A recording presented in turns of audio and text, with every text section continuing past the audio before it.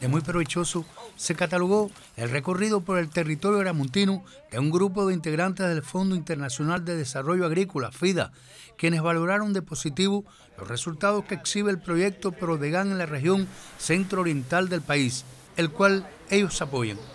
En el intercambio, con una representación de campesinos de las 105 cooperativas insertadas en el programa de los municipios Guaymaros, Ibanicú, Jimaguayú y Camagüey, se evaluó la llegada y uso de los recursos y el financiamiento, producción, comercialización, calidad, rendimientos, preparativos, perspectivas e impacto social.